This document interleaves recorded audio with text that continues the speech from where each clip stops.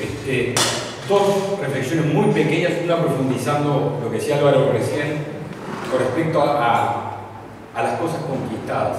Muchas veces en el discurso político, con, con buena intención, se suele decir que hay que defender al gobierno.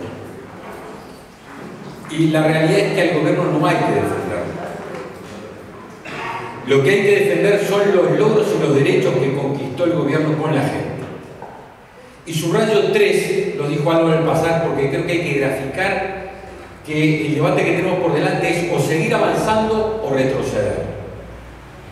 La ley de urgente consideración estableció la legítima defensa presunta de la policía. Miren, yo acabo de estar al mediodía en el entierro de, del agente de policía asesinado ayer, en el Marcón.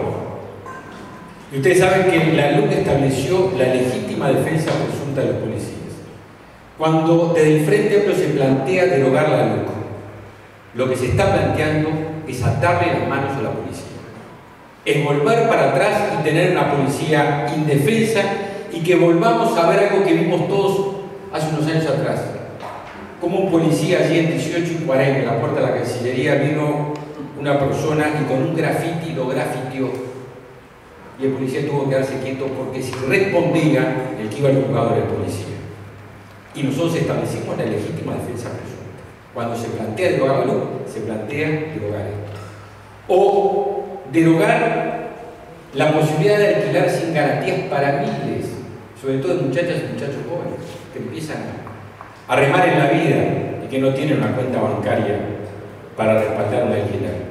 Cuando se plantea del Frente Amplio derogar la luz, lo que se plantea derogar también es la imposibilidad que muchos gurises y gurisas de Uruguay puedan tener su casa y alquilar su casa. O se plantea también cuando se plantea derogar la luz la posibilidad de que, bueno, de que la enseñanza haya tenido su primer nivel de avance, que se cristalizó la transformación educativa que luego Robert Silva y la NEP llevaron adelante. Por eso cuando, cuando se dicen cosas desde la oposición del Frente Amplio como derogar lo que se está haciendo es derogar derechos y nosotros vamos a recorrer el país, estamos recorriendo el país, para defender derechos conquistados y logrados. Por eso la continuidad es consolidar y avanzar. Y lo segundo que quiero referirme breve, porque pasó anoche, estamos con Álvaro en un acto, yo me lo, lo vi, hablamos de este tema, hablamos de este tema, pero claro, hablamos sin saber lo que había pasado, hablamos del hecho, pero después el hecho era mucho peor de lo que se decía al principio de la reunión. Este proyecto que nosotros defendemos es un proyecto muy uruguayo, muy oriental, muy nuestro, que se hizo con el liderazgo de Luis cuando arrancamos en el 2014, conociendo el país, hacíamos 800 reuniones con organizaciones sociales, hicimos en el 2014 e hicimos en el 2019 800, 850 reuniones con organizaciones de todo el país. En Soriano ustedes se acuerdan porque ustedes participaron de muchas de ellas.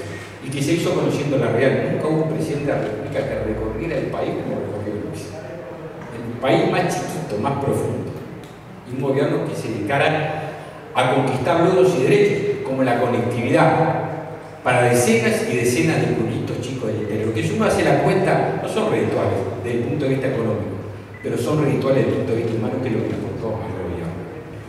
Digo, muy uruguayo.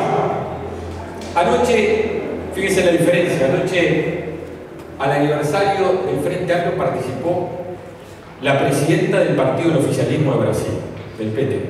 Ya a nosotros nos parecía que no era una señal de que un partido extranjero venga en campaña electoral a participar de una reunión política de un partido en Uruguay. ¿Por qué? Porque Uruguay debatimos, pero los problemas de los uruguayos los resolvemos los uruguayos. Y nos enteramos esta mañana, por declaraciones de la propia dirigente política de Brasil, que estaban dispuestos a apoyar fuertemente al Frente Amplio para que ganara la elección. Y le queremos decir que esto es absolutamente rechazable. Hay gente que todavía parece que rememora la ciplatina, que piensa que necesitamos tutores. Sería bueno saber en qué consiste el acuerdo que tiene el Frente Amplio con el PT Brasil para respaldar la elección. Porque los uruguayos tenemos derecho a saber y a pedir y exigir que no se introduzcan en los problemas de los uruguayos. Somos un país soberano, digno, con todas nuestras bondades y con los defectos que tenemos uruguayos, pero nos queremos a nosotros mismos y no estamos dispuestos a permitir pasar en silencio que haya quienes vienen a meterse y a tratar de incidir en la decisión que solo los uruguayos tienen que tomar. ¿En qué consiste el acuerdo que ayer se dijo que había para respaldar fuertemente a la oposición a elecciones? Por eso decimos eso acá, que uno empieza a comprender las cosas y ve cómo hay exceso doble discurso. Bueno, el doble discurso nunca es en exceso, hay doble discurso. Cuando se les pedía que condenaran la dictadura en Venezuela, el intendente Cose dijo, no me meto porque es un país extranjero, no hay que meterse con la autodeterminación de los pueblos. Con una excepción, parece para el intendente Cose, salvo con la autodeterminación de nuestro pueblo. Con ese se puede meter tranquilamente. Con ninguna autodeterminación y con todas las democracias y en contra